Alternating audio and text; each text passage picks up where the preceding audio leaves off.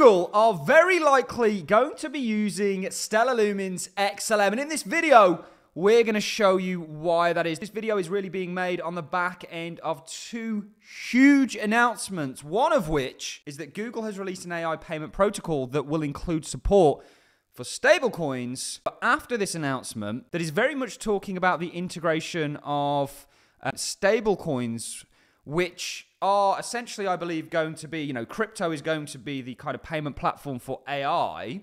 Here we have in this emerging world of agentic, agentic commerce, trust and innovation are key. And of course, PYUSD, which operates on Stellar Lumens XLM, is an integral part of what PayPal do and ultimately likely going to be the currency in which is used for agentic commerce, which Google have just launched a platform around. This is huge.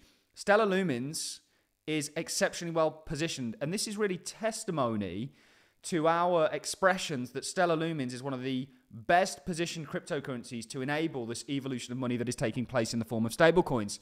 Guys, XLM is a dark horse. You want to unlock my price prediction? Do become a Patreon.